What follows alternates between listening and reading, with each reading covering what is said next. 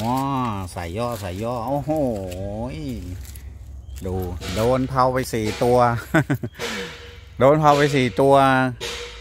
เกือบนั่งเผาเลยครับ พี่น้องเอ้ยวันนี้เราเติมของหน่อยครับเติมของหน่อยนี่ฮะดูโอ้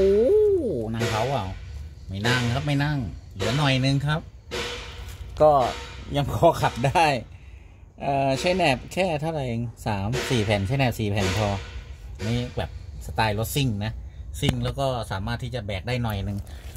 ตัวละประมาณร้อยกว่าโลก็เอาได้อยู่เนี่ยห้าร้อยโล วันนี้เราได้เพลาแอลมาอีกสี่สี่ตัวนะครับ แอลเขาแข็งเขาเหนียวเขาทนนะครับ เอามาทำเป็นเพลางานสร้างนะฮะสำหรับเพลาลอยแอลเนี่ย เป็นพวกเก่านอกเก่าญี่ปุ่นเขาเนี่ยเขาแข็งนะครับ บ่าลูกปืนอะไรพวกเนี้ยเขาจะแข็งมากนะครับเราก็สามารถที่จะเอามาประยุกต์ใช้ ทำเป็นเพาลอยงานสร้างได้นะครับอะเพื่อนๆคนไหนสนใจที่อยากจะวางเพาลอย ติดต่อมาได้นะครับ อยากได้เพาลอยเหนียวๆทนๆแข็ง